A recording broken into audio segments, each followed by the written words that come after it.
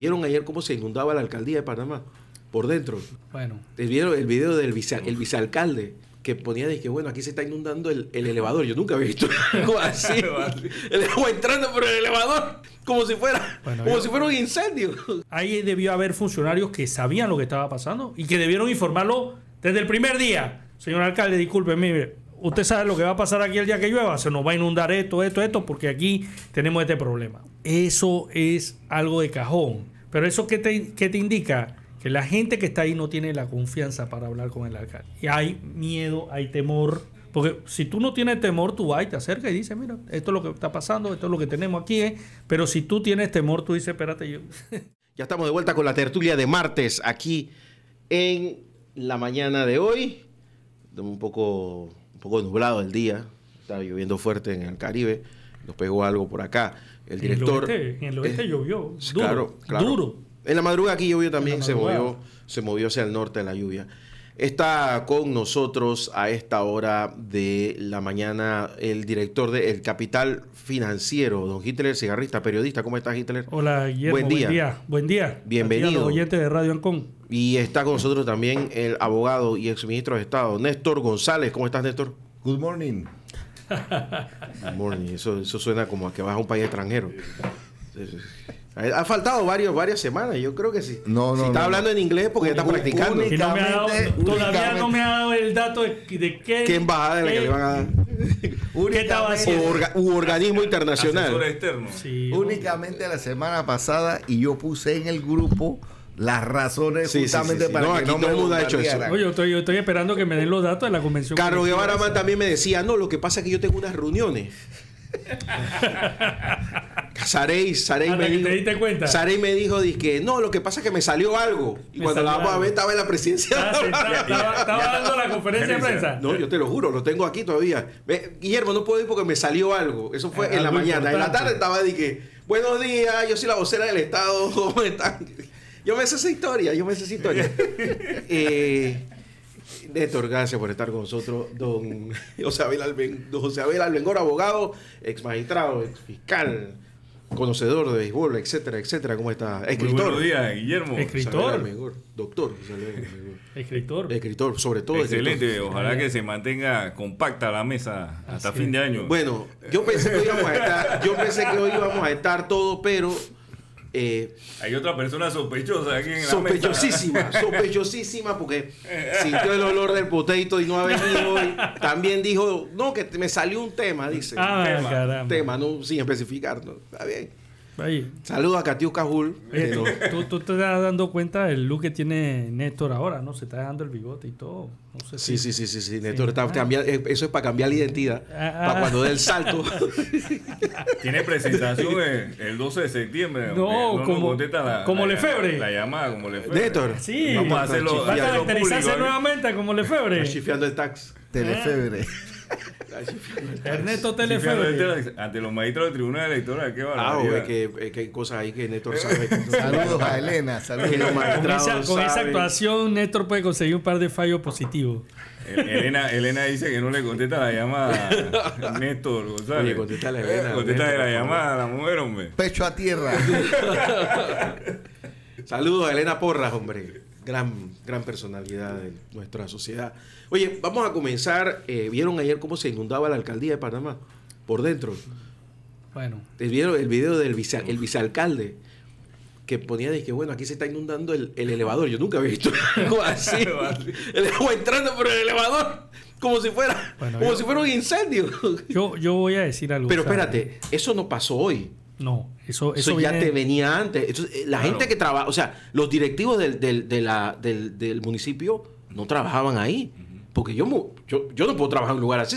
Así que se comienza a, a meter el agua, Y que ya, tema- que ya pasó una vez. y, y luego viene el tema eléctrico que puede generar un. Oye, a mí me una pasó. desgracia, ¿no? Esto, esto la gente no lo sabe, no tiene por qué saberlo, pero una vez nos pasó que ah, en el piso de arriba, en el, en el bufete de abogados, se rompió una tubería un sábado.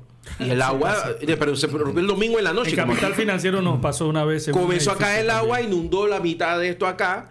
Y yo mandé a parar, mandé a pagar todo. Apáguelo todo. Y el lunes en la tarde fue que volvimos a prender. ¿Por qué? ¿Por qué? Pues estamos a limpiar, porque tú tienes que trabajar en un lugar limpio. Es un, es, un, es un terreno que tiene una plusvalía interesante. Muy donde. Está, donde está la alcaldía de ¿Cómo, Panamá. cómo me parece, carajo van a- ellos han trabajado con eso cada vez que llovía se inundaba o no iban? Sí, me parece, me parece que fue una inversión interesante. No obstante, el edificio es un edificio viejo, un edificio enfermo, que era el instituto del- el edificio del Instituto de Recursos Hidráulicos y Electrificación IRRE. eh, un edificio bastante. Y antes era un hospital. y antes era un hospital. La No, y si Panamá. te vas en intermedio, me acuerdo que estaba el Banco Continental, Uf. había una compañía de seguro la internacional. La internacional tuvo ahí un- Sí. Hay de todo, ha habido de había- todo. había un, un cine. No, y, y lo, el cine. Y lo otro también, Guillermo, es que Y una, lamentablemente. y una biblioteca, la Meléndez, que ahí comprábamos los libros. Sí, y es que ese edificio Sin no tirar la está, cédula, hecho, ¿no? Claro. no está hecho para que tenga alto tráfico Así de es. usuarios. Ese es el problema. O sea, Así es. el volumen de personas que Digo- van al edificio Atillo a buscar una atención de la alcaldía es sumamente alto. O sea, el edificio no aguanta con tanta gente. La, la remodelación del edificio Atillo cuando se compró, eh, lo que conocimos esa estructura eh, previamente, eh, ahí no ha habido ningún cambio significativo, No. Neto, ninguno. O sea, eh, eh, fue una, fue una re- eh, se remozó, vamos a decirlo así, y hasta ahí. Una vez se Eso remozó es y ya. mucho Pero- mejor pero el- donde estaban, que el estaban remozamiento, el remozamiento, voy a decir algo. eh, Lo que pasa es que el remozamiento en Panamá básicamente es yeso y pintura. Eso fue lo que se- O sea, no, no entras a ver cuáles son las condiciones del edificio, qué tienes que mejorar en términos de infraestructura básica, o sea, la ingeniería, a ver si, si resiste, si no resiste el tráfico, si tiene que reforzarlo con... con Nada, con- ahí va con- eso. ahí eso va. Y luego está el tema de que, ok, el edificio se va deteriorando en el tiempo y tú no haces nada Y para... no se le mete la lo, mano. que, lo, que, lo que pasa es lo siguiente, que una grieta que empieza a gotear en, en- en- en un momento determinado, en, en cinco años, se te convierte en un boquete. Y, si tú no afrontas eso con rapidez, lo que tienes es un problema. Y lo que tiene hoy la alcaldía es un problema. Ahora, yo voy a decir una cosa. Como bien dice Guillermo, ahí debió haber funcionarios que sabían lo que estaba pasando y que debieron informarlo desde el primer día. Señor alcalde, disculpe, mire, usted sabe lo que va a pasar aquí el día que llueva. Se nos va a inundar esto, esto, esto, porque aquí tenemos este problema. Eso es algo de cajón. Pero eso qué te, qué te indica? Que la gente que está ahí no tiene la confianza para hablar con el alcalde. Y hay miedo, hay temor. Porque si tú no tienes temor, tú vas y te acercas y dices, mira, esto es lo que está pasando, esto es lo que tenemos aquí. ¿eh". Pero si tú tienes temor, tú dices, espérate, yo... Pero, que se enteren cuando pasa. Pero mínimo, el alcalde entró con el que se encarga en el, del jefe de mantenimiento, el director de mantenimiento. Y él tiene que ser subalterno, que tiene que saber qué es lo que ya está tenemos un pasando. mes. Que le tuvieron que haber dicho al director. Más de un mes, vamos para dos. Y tenemos que decir algo concreto. eh, fue una lluvia fuerte. eh, Pero no la madura, eh. Pero no larga. No, la- no, no fue, No larga. No, fue una lluvia catastrófica. No, ¿Tú te no imaginas fue que, una lluvia de más de 20 minutos. que ha Eh, pasado en Panamá que hemos tenido? Eh, eh, temas de meteorología importantes. ¿Tú te imaginas que hubiera sido algo que dura dos días? Sí. Que ha pasado ya. Que es normal. Tampoco es que estamos hablando de un fenómeno extraordinario. una de la tarde. Fue un, aguacero normal. En, una- en un lugar público ingresé, eh, 15, 20 minutos salí. Claro, por eso cuando tú vas... Fuerte, eso sí, fue Claro. muy fuerte. Cuando tú vas y tú dices, no, que necesito tal papel y te dicen, no, es que no, no, no lo encontramos. Claro, pues no lo encuentran porque se mojó y seguro que lo botaron. Es que eso es lo que está sucediendo ahí. Eh, y, te da, y te dice la indolencia que ha estado la alcaldía de Panamá en los últimos años, que no es único ver lo que pasa en Colón, lo que se ha encontrado sobre todo en La Chorrera y en Arraiján, y ni hablar de los de Chiriquí. Entonces, eh, David, lo de David me... me- me- Ustedes vieron un video del alcalde subiendo por una escotilla Sí. que estaba oculto. Resulta ser que en la alcaldía de David, en la, en la, eh, eh, en la cafetería, había una escotilla que te bajaba a un sótano y eso te sacaba la parte de atrás de un estacionamiento y ahí, podías salir. Como Entonces él, él lo descubrió porque hizo el, el caso contrario. Se puso a buscar por detrás de la alcaldía para ver qué había. Encontró una puerta, pidió que la abrieran porque estaba trancada. Y cuando fue a ver, vio un hueco arriba y una escalera y dice, esto que esto no me lleva. Y cuando fue a ver, estaban las señoras ahí comiendo porque estaba en la hora de, de almuerzo. Y la gente dice, pero alcalde, oiga, alcalde, ¿y usted qué hace ahí? Y yo, Alcalde, ¿Usted qué ¿por hace ahí? llegó? Nos está espiando. Eh, no, que- ¿Cómo ustedes no sabían que esto estaba aquí? No, dice todo, no, todo el mundo dijo lo, lo que tú dices. No, yo no sabía. Nadie sabía. Nadie sabía. Nadie nunca vio nada. Michael Keaton, el Sí, Batman. todo fue. Entonces, hey, eh, yo sí te voy a decir una cosa. eh, tú, no puedes, tú no puedes trabajar para alguien. Yo sé que la- hay necesidad, pero, o sea, cuando llega la nueva autoridad, tú tienes que decirlo una vez. Hey, Hitler, mira, eh, José Abel era un desastre aquí, no hizo esto, no hizo lo otro. Claro. ¿Por qué? Porque tú estás cuidando tu pan. ¿Me entiendes? Pero también la propiedad del Estado. Pero Sí, yo creo si que tú llegas y te quedas pierde- callado, tú eres cómplice de lo que está pasando. Yo creo que a veces se pierde de vista hay que eso, de que al final la alcaldía de Panamá es de todos los ciudadanos de que, todos. que- que viven en la ciudad de Panamá. Claro. O sea, y los que trabajan en la alcaldía tienen una mayor responsabilidad de cuidar sus bienes. Eh, eh, no puede ser, no puede ser que, que- que- que la alcaldía de la ciudad más importante del país se inunde con una lluvia peregrina. Mire, la noticia de la noticia de la prensa digital, la unidad investigativa de hoy, interes- interesantísima, dice, salió huyendo. El gerente de Tocumen S.A., José Ruiz Blanco, no quiso dar declaraciones a los medios de comunicación, a pesar de que ellos invitaron, ellos mismos invitaron un acto de inauguración del aeropuerto, dice. Este lunes la prensa publicó que Ruiz autorizó un desembolso de 20.398 para la compra de celulares Ah. y proveer otro servicio de telefonía para, para él y otros altos funcionarios. Gracias por traer ese tema, terminal. José Abel. Este Eh, tema es interesante porque ha trans... No, pero antes que lo, lo, lo- lo- ya estaba por ahí el famoso video, de, el famosa foto de una, una muchacha con La él, que artificial. después dijo el presidente Martínez que eso era inteligencia artificial, no sé qué. Yo no voy a hacer de experto en esos temas, pero es mucho ruido, José Abel. Demasiado. ¿ah? Para un solo funcionario es mucho ruido en una administración que la gente lo está viendo como algo diferente a las anteriores. A ver, rapidito, Guillermo. Eh, el- no conozco al gerente del, del aeropuerto, pero algo va a tener que hacer rápidamente para cambiar la, la imagen La no muy buena que se está dando hacia afuera de la institución.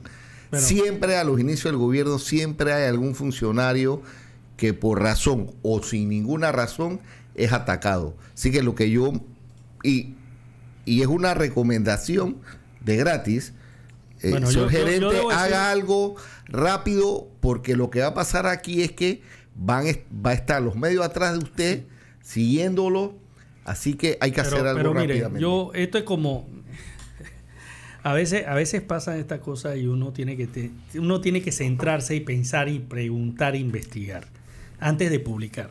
¿Por qué digo eso, José Abel? Esto es como los bates, cuando se habló del precio de los bates que se compra, se compraron para distribuir en la Federación Panameña de Béisbol. Había mucho desconocimiento. Hay personas que creen que un bate de béisbol cuesta 50 dólares. y eso no es así. Un buen bate de béisbol para pequeñas ligas te puede costar 300 dólares. Y un, y un buen bate de béisbol para, para, para jugadores ya eh, eh, de, de la categoría mayor puede llegar a 400 y hasta 500 dólares. Entonces, en el caso de los celulares, ojo, porque cinco celulares, voy a, voy a Va a sacar no, tu no iPhone. quiero ser, no quiero ser eh, eh, eh, arrogante, pero este, este celular, Va a sacar su iPhone de Este celular último- Samsung. última generación. Ah, eh, Samsung. Flip 5, eh, cuesta más de mil dólares. 1600. ¿sí? Y el nuevo, el, el, el, el, el 6, está costando casi dos mil. O sea, Pero no es loco que un No es- celular te cueste eso. no es loco que un celular, no es loco que 10 celulares de ese precio te lleven a 20 mil dólares. Lo que tú tienes que definir es quién es funcionario de alto rango para recibir un celular de alta gama. Bueno, Y no hablemos de los iPhones. Los iPhones ah, ah, están en precios Hitler, exorbitantes. Hitler, di- disculpa que te interrumpa. Yo veo la cosa por otro lado.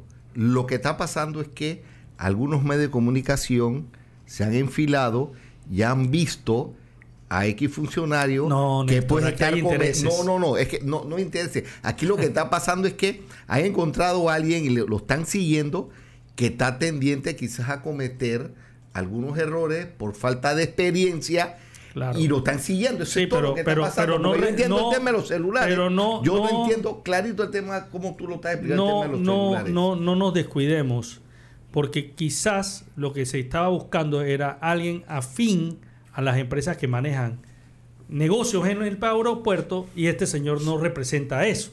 Entonces hay que sacarlo. Mira, Ojo con eso. mira, mira. Ojo con eso. Por ahí va, por ahí va. Panameño. No, no, lo es lo que O sea, dice- esto no es de gratis. Eso es lo que está diciendo Néstor. Sí, por ahí va. Pero, pero, pero, ojo, ojo. Pero eh, la percepción Claro, eh, eh, la también percepción ciudadana importante. es Y importante. mira, digamos algo, por lo menos, eh, en el Ministerio de la Presidencia habían más de 20 funcionarios que no tenían, en el gobierno pasado, jerarquía para eso. Sí. que tenían vehículos Prado que costaban Y no mil dólares al mes. No debieron tenerlo nunca. No debieron tenerlo nunca y eso fue retirado.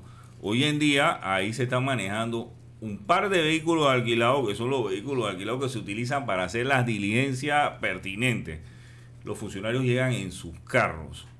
Además de eso, el, el tema de la, El de otro la- día- el otro el día me tema dijo- de los celulares. Sari pelea super su El tema, sí, el, tema, el tema de, el tema de los celulares. Ahí no se le está comprando celulares a nadie. Los funcionarios usan su celular. Pero yo creo es que el punto que así, está, yo pienso que el punto de lo que está diciendo Néstor es que ahí se le está comprando celulares a un sinnúmero de gente. Ese celular, además de lo que cuesta, está el pago de la línea del teléfono celular y lo otro. Que yo, ya eso es una, una cuestión que está en desarrollo, esa, esa investigación, y, como dice Néstor, los funcionarios tendrán que cuidarse o no cuidarse. Lo cierto es que hoy en día en ninguna oficina pública ni privada está todo el tema eh, de la- del tema de- de los casos por lesiones personales por género está que existe eh, denuncias en el Ministerio Público para tirar para el aire existe el tema del acoso laboral. Existe un sinnúmero de temas que hay que hay videos en todas las entidades públicas o privadas o sea pensar hoy en día Guillermo que un funcionario va a tener una relación con una subalterna y que, y que va a poder ejecutar un acto adentro de la oficina eh, eh, eso es ilusorio. Eso o sea no, de verdad, que, de verdad que de verdad que más de 15 17 años en Panamá todas las oficinas públicas están grabadas. Sí, señor. entonces, lo que a mí sí me preocupa y yo, y yo quiero abonar en esto, es que hay una información que está haciendo mucho ruido, como dice Néstor, de que incluso se intentó borrar los videos de seguridad del aeropuerto.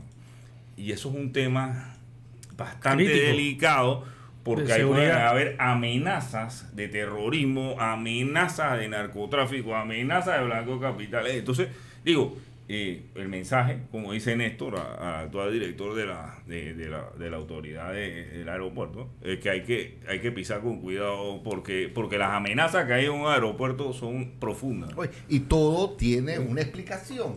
Si no hay nada más. No, si tú no tienes nada que ocultar, tú tienes que explicarlo, pero explicarlo bien.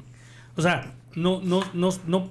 Y, y yo entiendo. No hay que no hay que evadir a los periodistas. Exactamente. No el morbo. eso es importante. Y tiene. Mira, esto eh, hay cosas que a la gente, cuando hablamos, la gente habla de medidas paramétricas, eso no lo entiende nadie. Eso lo entendemos nosotros y a veces tenemos que tener tres, cuatro explicaciones. Pero cuando la gente les dice que hay un funcionario que está gastando mucha plata en celulares, lo entiende de inmediato. De inmediato. La, la- yo- la implicación tú y yo la sabemos. Pero ¿qué es lo que pasa? Que si un medio de comunicación o dos o tres te comienzan a vender, este tipo ha entrado a comprar celulares, ¿qué es la- lo que recibe la gente? Otro corrupto más que viene Pero- a pero mira, yo- yo pero, pero a- espérate, Hitler, déjame hablar, déjame hablar, déjame hablar, porque a, a donde voy es, la gente que hace estas cosas, que hace la matriz de, opin- de, opin- Sí, de- la de- matriz de de opinión. noticias, la matriz de opinión, sabe esto que yo acabo de Sí. decir. Y a ellos no les importa lo que acaba de decir Hitler de que los celulares valen 1500, 1600, ellos lo saben. Pero lo que, es, lo y que ellos también lo saben, tienen, que es y lo tienen. Ellos lo tienen. Pero ellos también saben. pero lo compra con su plata. Claro, pero ellos también. Espérate, espérate. No, No, no, pues se va a dar no, y voy a explicar por qué. Y- pero pero ellos, ellos, ellos lo que también saben es que la gente come esas historias, se las compra, porque esa te llega al bolsillo. Pero ¿por qué ese con mi plata ahora va a comprar ese? Y, y toda la vida en Panamá. Los funcionarios cuando llegan en un carrito y a la semana, el Prado, el celular más caro y la- el, el, el- el- el plan de datos más grande y que más cueste. Eso no tiene nada de malo si tú eres una persona que necesita usarlo. Pero como se dijo, Sí. si es cualquier pendejo, sí molesta. Y en la presidencia antes habían, y no solamente el gobierno pasado, el anterior también, y el anterior también, había cualquier cantidad de gente que no tenía por qué tener carros. Si yo me acuerdo, Eric Auer va a llegar en la moto, Alfonso Fraguela llegar en su carro, que todavía lo tiene por ahí. Yo llegaba en el mío. El único privilegio que yo tenía era que eh, lo estacionaba dentro Un del estacionamiento es el privilegio. Ese era mi privilegio, que tenía un funcionarios en estacionamiento la presidencia. cerca de la presidencia. Y ya, ahí tenían carro tres, cuatro gatos. Y ahora de repente yo veía aquí que la subsecretaria de la subsecretaria tenía carro, Chofer. chofer, Y- y- escolta y SPI. y SPI y toda vaina y un SPI afuera El de la casa. ahí donde está el premio, en el abuso. Sí, mira, yo, yo, yo voy a aclarar esto porque es importante. Así como yo, muchos periodistas que trabajamos en los medios de comunicación, nuestros medios nos dan un celular para trabajar. O sea, este es mi celular personal y este es mi celular de trabajo. Aquí yo recibo el correo de la oficina, eh, los chats que tienen que ver con, con capital financiero, alguien que quiere contactarme por alguna compra, algún evento, lo que sea aquí. Este es el celular personal. Este lo paga Capital Financiero. Y eso le pasa a, a sí mismo le ocurre a esos periodistas que están escribiendo la nota. Ellos también reciben, eh, eh, ¿me entiendes? O sea, no es que ellos no saben que para trabajar te dan un celular. Ellos lo saben. Ah. celular tiene una justificación. Bueno, el celular, eh, ahí es donde voy. El celular, sea el precio que sea, tiene que tener una justificación. Tú no le vas a pagar celular a los 3.000 funcionarios del aeropuerto, porque eso es imposible. Porque además hay funcionarios que en su puesto de trabajo no deben usar Ahora, el yo, celular. espérate, espérate, yo no me quiero, yo, yo entiendo el punto, Hitler, y te lo agradezco. Pero con los contratos, la, estas empresas telefónicas Sí. no regalan un No, celular. los precios son ¿A mucho más bajos. Te puedes reducir el precio Voy a te lo pueden que dar tú gratis. mismo trajiste, que lo voy a casar con algo que, Sí. que, que los demás han dicho. Y es que esta información está también en otros funcionarios. Yo sé de un funcionario que le compraron un celular antes de llegar. Sí, Yo le he dicho, no, porque yo sé que necesita el celular. claro. Digo, yo sé que lo compraron antes para quedárselo. no era para el funcionario. Mm, O sea, lo compraron antes con la justificación de que no, que cuando venga el nuevo ministro se le vamos a dar este celular. Y Sí, realidad pero, se- pero, pero al final lo que te dicen en el gobierno, porque también, me- también pasa en Capital Financiero, te dicen cuando tú cambias celular tienes que entregar el aparato. Claro, claro. Pero viejo, ya, ya yo ¿tú le sabes? di, ya yo le di esta información a las personas correctas para que trabajen en lo que hay que hacer. Pero lo que te, lo que te quiero decir es de que este funcionario de la, de la- del, del aeropuerto, específicamente él, cuyo nombre ya no importa, es una persona que alguien la marcó y dijo, síguelo. Sí, dale seguimiento. Ese es el punto. Porque esta Ahora, información ¿cuál es- de cuál es el interés? Esta información de video, esta información financiera, no es una información pública, podría ser pública, pero ahora mismo no lo es. O sea, yo no puedo acceder a un lugar y saber cuántos celulares compró el Ministerio de Traba- el ministro de Trabajo. ¿Tú, tú puedes hacerlo? El ministro de Comercio. Yo no puedo saberlo. Pero normalmente ocurre que hay reasignación de líneas en los ministerios. O sea, alguien Sí, pero O también, alguien eh, es- también tenemos que tener presente algo que, que ha, Eh, mencionado, que ha mencionado Néstor, que, que evidentemente este funcionario es un funcionario que está tomando decisiones con personal que hay ahí previo, es decir, ha hecho destituciones. Entonces, aquí tiene que pasar- Ha tomado decisiones que evidentemente ha impactado a personas Claro. y es ahí en donde Pero el cuidado tiene que ser Esa mayor, ¿no? persona tiene mucho poder. Porque esto no... no- tú- ey, tú- tú Ahí manejas- tiene que haber alguien con mucho poder para que esto periodista. salga en la prensa. sa- claro, tú sabes que las cosas no se publican solas. Las cosas no se publican solas. Entonces, ¿cuántas cosas me dicen a mí? Hey, Guillermo, mira qué pasó. Yo sé para dónde vienen. Que yo las repliquen y yo no voy a decir cuánta pendejada me dicen.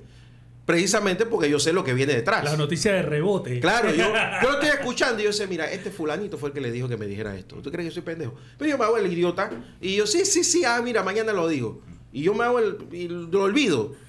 Porque también tampoco me voy a poner a pelearme con todo el mundo. Claro. Pero uno sabe por dónde vienen estas cosas. Pero cuando tú lo pones por escrito, tú que eres director de un medio de escrito, tú sabes el peso que eso tiene. Dentro de 20 años va a buscar en el medio escrito. Esto que yo estoy diciendo aquí, si hay, hay YouTube, aparecerá. Pero normalmente la gente busca los periódicos para buscar en el tiempo lo que ha sucedido. Y ponerlo en un periódico te marca. Mira, ahí está el, el- el- creo que es el ministro de, de Trabajo, ¿eh? El, el que estaba en la MP. Que hubo una investigación, no sé qué. Y lo primero que sacaron fue todo la- el montón de periódicos que salieron de la época que la investigación, no sé qué. Te marca. Entonces, dos cosas deben pasar con este funcionario. Una de dos o comienza a destituir gente, averiguar quién es el que está detrás de estas filtraciones y destituirlos Eso se llama infidencia. y tomar el control de la institución y bajar el nivel de ruido o ser trasladado a otra institución o renunciar porque le está haciendo daño a la imagen del presidente.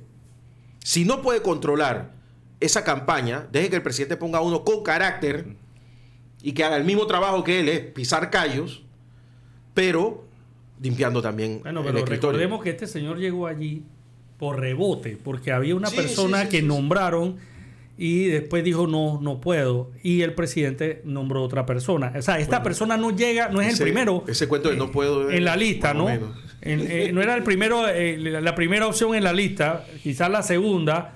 Pero quizás esa segunda opción para el presidente no era la segunda Lo que opción pasa es que para él los llegó, que tienen interés en él el llegó, aeropuerto. Él llegó con el, el, el, sable, el sable samurái, y comenzó, cerró los ojos y comenzó a, guash, guash, a descabezar. Y cuando fue a ver, alguien dijo, hey, ven acá, ¿tú por qué te metiste con ellos? Y, ahí- y ahí es donde viene el asunto. Y hay gente dolida porque ahí hay, ahí hay una, un, un tema que tiene que ver con las indemnizaciones. ¿Tú recuerdas, Sí. Guillermo? Que eso está, que eso está ahí como... eh, porque Y hay eso- otro tema. Porque esos funcionarios, aunque ustedes no lo crean, tenían la expectativa de cobrar una indemnización por ser una... un- No, ese aeropuerto, ese aeropuerto es un como Pero- el Twilight Zone. Sí. Yo he hablado con la gerente de DHL, eh, mi amiga Miró, saludos. Sandra. Eh, Sandra Miró, que ella dice, nosotros estamos- tenemos años de estar esperando a que limpien el área donde hay un montón de aviones eh, Que eso se puede vender como chatarra. que chatarra La de carga. para ampliar la operación de DHL internacional no desde. Panamá y no se ha podido. Bueno. ¿Por qué? Por razones misteriosas. Bueno, pero te voy a dar otro dato. No creas que el hecho de que este señor haya anunciado su decisión de establecer un hotel en el aeropuerto no haya pisado callos. Por supuesto. A alguien O sea, no me- le gustó. me- me- a me alguien explico. es- no le gustó. O sea, y, y- y ojo, No algunos, alguien. esa es la tendencia mundial. Yo estuve en el aeropuerto de Estambul, me, me alegra que, que- que hayas hablado con... con, con Puros eh, paseadores, pura gente que se la pasa ¿cómo, viajando se- a Estambul. cómo- cómo es? Eh, Nehemías, Jaime. con Nemías Jaén. Porque Nemías habló de ese aeropuerto y lo calificó como uno de los más bellos en lo que ha estado. Bueno, es un aeropuerto muy bonito. Pero hay un hotel, Padre de los turcos. Yotel se llama. Yotel, Y-O-T-E-L. E Donde tú pagas 20 dólares Y y, llegó el carro de puedes la basura. dormir, bañarte, Llegó el carro de la basura. puedes dormir, bañarte y pedir que te despierten a la hora necesaria para tomar tu vuelo. O sea, es un aeropuerto de... Es uno de los aeropuertos más... Maneja 168 millones de personas. Bueno, eh, tiene, un de- tiene dos vuelos diarios a, a- a Panamá, indirecto y directo. Nosotros debíamos aprovechar más eso. Oye, vamos a la pausa, porque si no, no hablo de los deportes. Aquí